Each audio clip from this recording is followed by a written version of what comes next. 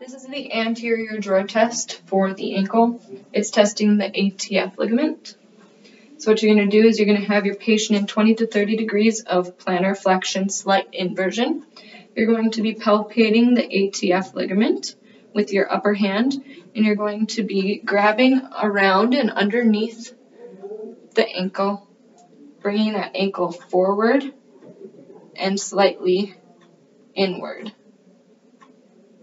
You should feel tautness if the ligament is intact. If there's laxity or pain, that's a positive test.